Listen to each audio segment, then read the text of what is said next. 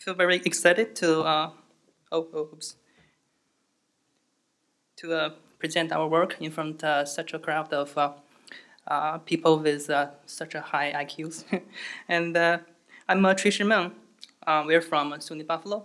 And so in the following, we'll discuss about the, our work on tackling the redundancy and sparsity in crowd sensing applications. And this work was collaborated with uh, my colleague Houping Xiao, my advisor uh, Lu Su, and uh, Yun Cheng from uh, a Chinese company called Air Scientific. Okay. So our story starts with uh, the various sensors in our life. So nowadays we have witnessed the ubiquitous adoption. Oh, why is uh,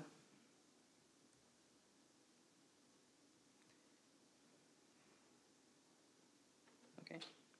Uh, oh. Sorry, why it's uh, okay.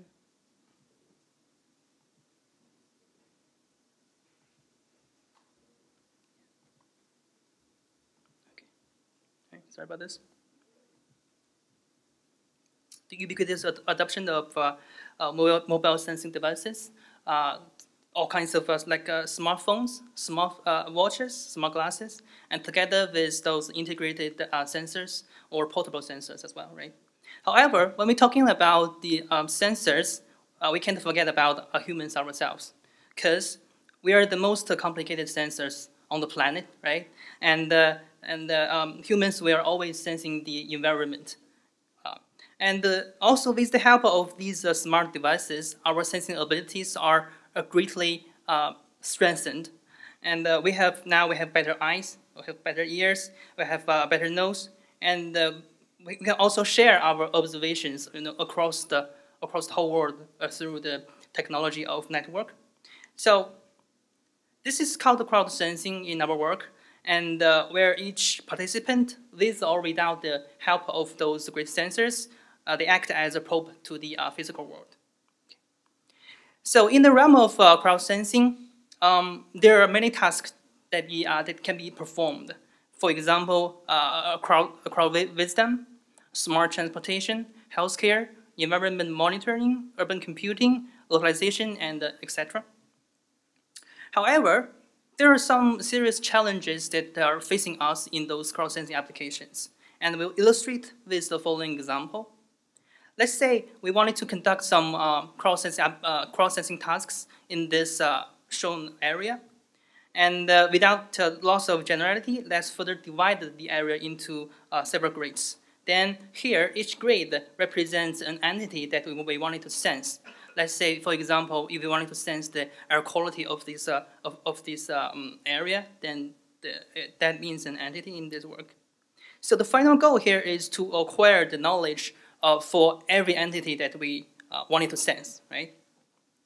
Okay, so in the perfect world for crowd sensing, um, we need participants to perform the uh, sensing task on every entities, right?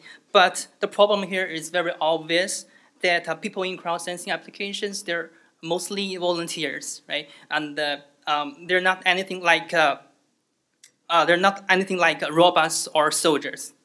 So let's come back to the reality, and the people shows on the place out of their own will. Right? So some places may be more popular than others, and some places may not receive any observations at all. So then we can clearly identify the challenges that we're uh, facing here. Firstly, let's take a look at those areas with uh, red circles. And uh, so instead of uh, there's only uh, uh, one participant in one entity, now we have multiple users who observing the same entities. So in this paper, we call it the redundancy challenge. And then, uh, how about those these, location, uh, these locations with uh, uh, question marks here? It seems that there's no users observations that uh, towards these entities, right? So then, how to define, how to derive the knowledge for these entities is the other challenge that we wanted to tackle here. It's called the sparsity. All right. So as we can see that these two challenges, they're, they're so general that uh, these can appear uh, on any real-world uh, applications. And in the following part, we'll investigate these two challenges in more depth. Okay, now first, let's talk about the redundancy. Now, let's uh, zoom in and uh, put our attention on only one of the entities. And let's give them, uh, okay, here we have uh, uh, three participants on this entity. And uh, let's give them some grid sensors or some grid devices that can help them. And here, before I go on, I wanted to clarify one concept is that when we talk, when we use the term uh, redundancy here, we only mean that uh, um, there are multiple users or multiple participants observing the same entity, right? But it does not mean that uh, the, those participants' observations they should be exactly the same. And uh, actually, in, in many real-world scenarios, um, their observations could be quite different, which will be uh, ex explained in the in the later. And uh, let's take uh, the air quality sensing as, a, as an example here as, uh, as well. So one of the participants tell us that the air quality Mm, here, the reading is, um, is 90, and uh, maybe others tell you different stories. Okay. So the challenges or the problems associated the uh, redundancy here are, are, uh, are twofold. First, we have multiple users observing the same entity. And the second, the users of observations, they're usually uh, different because individual users are uh, unreliable by themselves. There are several reasons uh, to explain, and uh, uh, maybe it's because of the poor sensor quality, incomplete view, uh, environment noise, lack of sensor calibration, or maybe you know, out of concern of privacy, people may want to in, uh, deceive their, their, their reading, right? So the redundancy challenge here is actually how to aggregate the, of the uh, observations from multiple sensors. And uh, good thing is that researchers have developed a set of uh, uh, methods to deal with this kind of challenge, and they're called the truth discovery. Since the uh, principles of truth discovery is very important in the, in the proposed work, so uh, in this slide, I will uh, give a little bit more in, uh, introduction. And so in, the, uh, uh, in this method, the input are the conflicting information about the same set of entities from multiple different users or sensors. And the goal is to discover the trustworthy information for each of the, the entities. However, the challenge here is that when we wanted to aggregate the, the observations, um, it's better to think to take into account users' ability, uh, the users' reliabilities, and uh, uh, some users may be more reliable than the others, right? So this is a very important uh, information that we want we wanted to integrate. However, the reliability information is usually unknown beforehand. So now here comes the uh, two very important uh, principles for truth discovery. The first is that is a, sensor or a user is more reliable if it provides many pieces of true information. And uh, on the contrary, a piece of information is likely to be true if it's provided by many, many reliable um, sensors. Okay? All right. Then let's take a look at the, uh, the sparsity problem.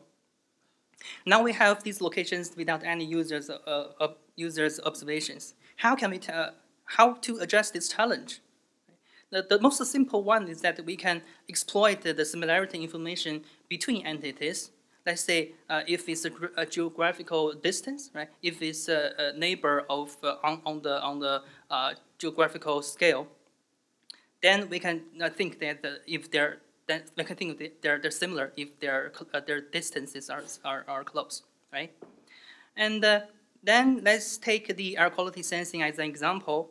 First, we can estimate those locations or those entities with users' observations by means of like a, a simple uh, average, or we can use more complicated methods like uh, the truth discovery method we talked about.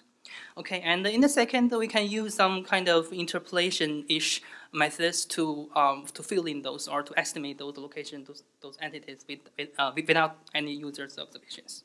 Okay, and uh, so at this point, we can think of a straightforward approach to solve both of these uh, challenges. We can do it in two steps. In the first step, we can um, use truth discovery methods um, to um, estimate those locations or those entities with users' observations. And in the, in the second step, we can use interpolation uh, uh, method to estimate those locations with, without users' observations. Okay, but uh, the problem with this uh, straightforward method is that uh, it uh, regards the redundancy and the sparsity challenges separately. Okay, and let's take a look at these challenges in another perspective. Then we'll discuss the proposed uh, framework that uh, in this work.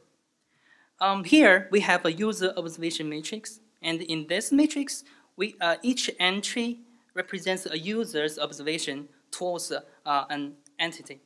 So as you can see here, users they provide observations for different sets of uh, uh, um, entities, and fortunately, the entity three here it receives uh, no observations at all, so it's not popular at all.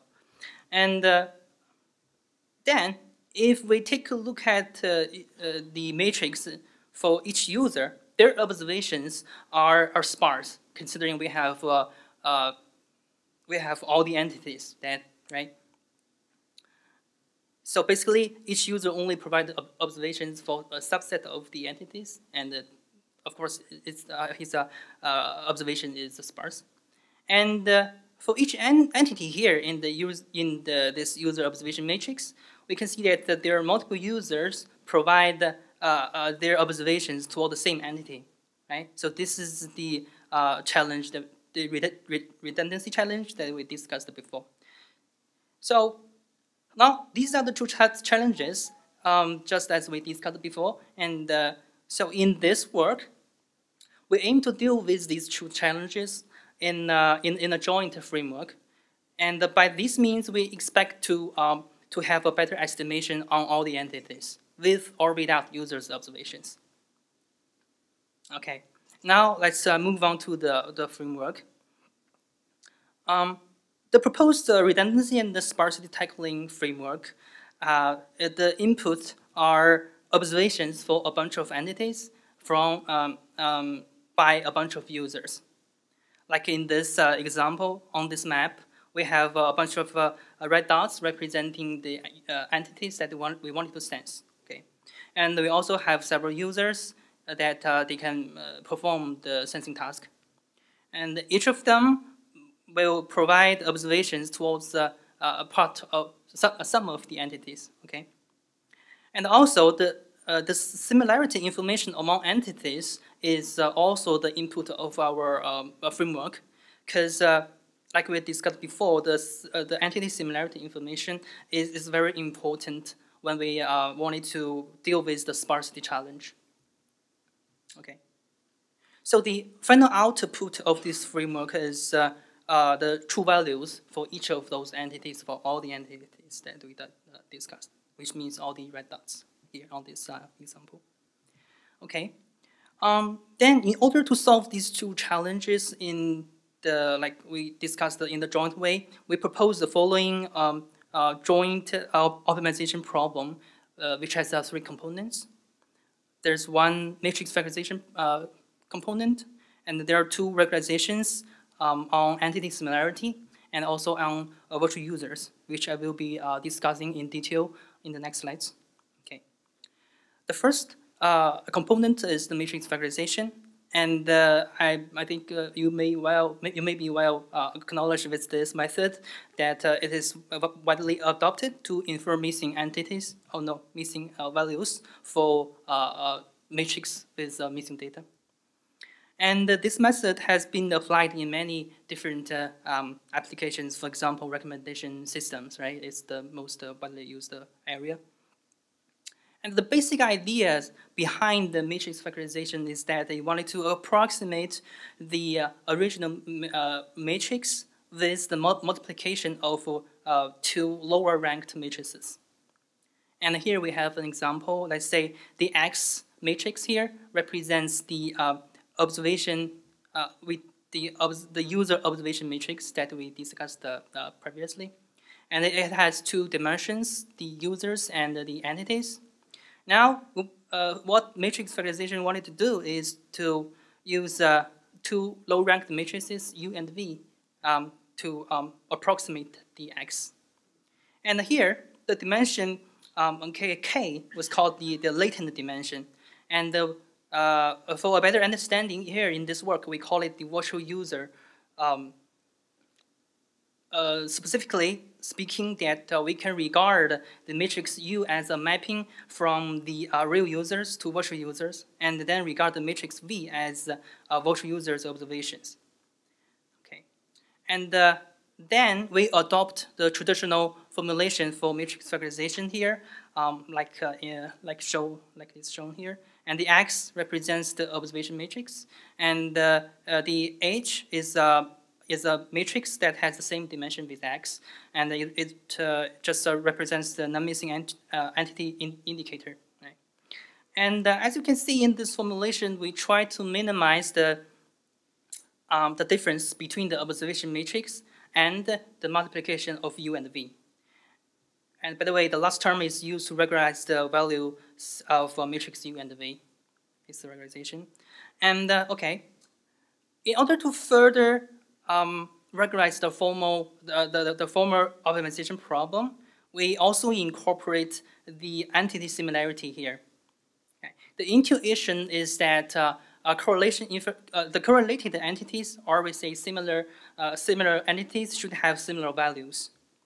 So we introduce this term, and this term tells us that uh, uh, okay, then the a the a the ajj prime here represents the similarity degree of uh, of two entities, and the vj here represents the observations on entity j. So what this term tells us that uh, if two entities they are more similar, which is to say the, the AJJ prime is higher or larger, then the observations for these two entities should be similar as well. And we can further transform this regularization term into matrix uh, form, which will be uh, uh used in the, in the later. All right. And uh, in order to further regularize the optimization problem, we adopt uh, a regularization on virtual users because uh, the virtual users observations, there are um, they serve as a, a, compression of the original the original data, and they are not equally important with respect to their ability of recovering the observation matrix X. So we borrowed the idea from uh, truth discovery, and we have the following uh, uh, formulation. The WK here means the, the reliability or the weight of virtual users, and the VJK means the observations by, um, by virtual user K towards the uh, entity J. And the V, uh, the, the, the V star here means the uh, observation aggregated, uh, observation aggregation. So this term forces that uh, if a user has a, has a higher weight, has a higher W value, then its observations should comply with the aggregated one, and vice versa. Okay, and we can also um, transform it into uh, the matrix form. And uh, if we put all these uh, uh together, we derive the following formulation. And uh, the first part is the matrix factorization. The second part is the regularizations on entity, uh, entity similarity. And the last one is regularization on the virtual users. And we also have a, con a constraint function which prevents the the reliability degree W from going to negative infinity. Okay. So then we have the formulation. Uh, in order to solve it, we use the block coordinate descent method uh, to iteratively solve uh, um, each set of the um, variables. As you can see here, we have uh, uh, four sets of variables. And the procedure is as following. We just update one set of the variables where, while fixing other sets of variables and the, the, the derivative uh, can be found in the, in the paper until the criteria, um, uh, okay, until the convergence criteria is met. Okay. And we done some uh, uh, analysis, theoretical analysis on the on this algorithm. And first, uh, when we are talking about the complexity, it, we can say that the algorithm, the algorithm is uh, linear with respect to the number of users and number of uh, uh, entities, which are the m and n here. And although we have a k square in this in this complexity, but uh, uh, decay usually is a very small number, so it doesn't affect the uh, complexity very much. And uh, we can also prove that the um, proposed method is theoretically guaranteed to converge. Okay. Um, then after we have uh, get uh, completed the observation matrix, uh, we can pro run some post-process of truth discovery to derive the, um, the values for each of the entities. Then let's move on to the experiments. We have uh, uh, the first baseline is that we it can uh, is the most naive way. We can first perform the uh, the mean on those uh, non-missing entities, then perform interpolation to derive the entities without user's observations. And the second baseline is that uh, we can first perform the truth discovery, like we discussed before, and then we can use interpolation again. And this method is to tackling the redundancy and the uh, sparsity challenge separately, like like, uh, like we talked about uh, earlier. And the last baseline is similar to the proposed method. The only difference that uh, it doesn't consider virtual users uh, uh, uh, virtual user reliability here. So the last baseline is designed to show how the regularization, the regularization term on virtual users can affect the estimation accuracy.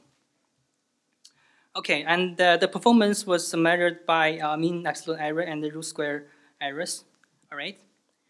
So the first experiment was conducted on air quality sensing system at uh, Tsinghua University of China.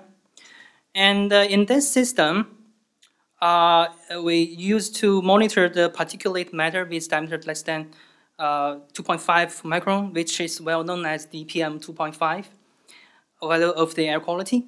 And uh, we use a portable air quality sensing device called uh, Mini AQM, which is designed and manufactured by the Air Scientific uh, Corporation. In this experiment, we have 18 participants who equipped with this uh, uh, portable device. And uh, the ground truth is collected with the thermal, as you can observe from the left on the, on the image. This uh, this uh, uh, device is accurate, but it's not portable. So yeah, we use that as a, use it to collect the ground truths. And we conduct the sensing task in four areas of, uh, uh, of, of Tsinghua University, and those red dots represents the locations that we have those participants to perform the sensing task. And uh, speaking of the performance when varying the sparsity levels here, we vary the sparsity from 72% uh, um, to 98%. And that's, as you can observe that the, propo the proposed method performs better than um, uh, the baselines on different sparsity levels. Okay, and in the second experiment, we also uh, we also conduct uh, on air quality sensing, but this time we use another outdoor version of the sensing device called the Air Atlas. And uh, they have over 100 device, these kind of devices deployed, uh, deployed over a whole Haidian, di di uh, Haidian district uh, in Beijing. And uh, they provide PM 2.5 readings uh, consistently. And they're mounted on some places, okay? And although in this experiment, we don't have real users, so we, so we um, treat these readings as ground truth and we generate um, users by adding different levels of noises. And uh, in this uh, experiment, when varying the number of entities, here we vary the number of entities uh, uh from 20 to 98. And as you can see, the proposed method performs uh, fairly good compared with all the other baselines. And uh, we did another experiment on simulated data such that we can have a full control over the, uh, the, the data. For example, the sparsity level, the number of entities, number, number of users, right? And uh, in this experiment, we simulate a, crowd-sensing scenario with uh, 10 areas and let the, the, entities within the same area be similar with each other. And the ground truths for areas are set as different and users are generated. Okay, and now oh, um, when we varying the sparsity, these these images from left to right, uh, it's uh, varying the sparsity from 79% uh, to 97%. The dark blue um, bars are the proposed method, and uh, since these are the errors, and you can see the proposed method has the lowest error, such that the performance is better than um, others. And uh, then when we talk about the number of entities, we also vary it from uh, 40 to 100. And the proposed method is, is better. And then we vary the number of users from uh, 30 to 180 as well. And uh, also the, the, the, the, digits are pretty good. Okay, in conclusion, um, in this work we propose to tackle the redundancy and the sparsity challenges in uh, for crowd-sensing applications in the joint way. And uh, we formulate an uh, op optimization problem which captures both the uh, key patterns of user-contributed data and uh, entity similarities. Um, in order to solve it, we propose an effective solution uh, in an uh, iterative way, and the convergence is theoretically guaranteed. And uh, at the last, we wanted to emphasize that the proposed framework is it's general and flexible, and it is suitable for a broad spectrum of application domains. So thank you, guys. Uh, we have a brief uh, set of time for questions. Anybody? Hi, uh, Lama Nachman, Intel Labs. Um, I was just wondering about the time aspect. So, The time complexity? yeah, no, I mean, in Oh. terms of like if, if you're looking not necessarily, I mean, would you just map time to entities? Yeah, right. So different, the, you can say that uh, if an entity at, uh, at uh, the same location and uh, it varies in different times, then we treat it as different entities. So you can, you know, uh, put that in the, in the framework. Yeah. Hello, I'm, uh, this is Xiang Xiang from Tsinghua University, Hi. and I have Oh, Great oh, question. great to see you here. uh, first one is that uh, you use the matrix of factor, factorization, Mhm. and you know, in fact, this is a, a, assum, a assumption that uh, the matrix have a low rank structure. right. And in the real application, I think the, this assumption may change uh, according to your your sensing, uh, your uh, which, which thing you are sensing. For Mhm. example, if you are sensing air quality or if you are sensing something others, uh, the assumption may change accordingly. And, That, that's the question? uh, yes, uh, I mean that uh, Mm. if this is uh, whether this is be- best choice. I think in this uh, um, in in in this formulation, the lower dimension here means the number of uh, you can understand it as the virtual not the, the number of virtual users. So the number of virtual users uh, here you can uh, think of it as uh, you know users with similar uh, errors. Yes. So then, uh, in real application, I believe that uh, this might happen. That uh, users, some of the users, they might have similar error error degrees. So I think this this this may fit the real problems um, pretty good. Okay, next question is that uh, you use the method of regularization. Mhm. Uh, so you have three parameters to be controlled. Yeah. So how do you select the parameters in practice? Oh, threats? Uh, you mean? Hold on. You mean, uh, I mean uh, the, the parameters of alpha, beta, and gamma. Oh, these are these should be selected uh, with some validation data set, I guess. So, in because for different uh, applications, they should select it, you know, uh, from domain knowledge Uh, so or some ex ex experiments. Speaking, which kind of domain knowledge in your research?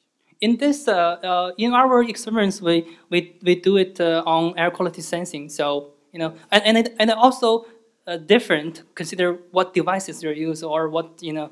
Uh, so it's very different, right? You have to tune it uh, as with, with, with respect to different uh, um, applications, Okay. right? So Um, that, that's all the time we have questions. Oh. uh, So, so uh, let's thank the speaker again.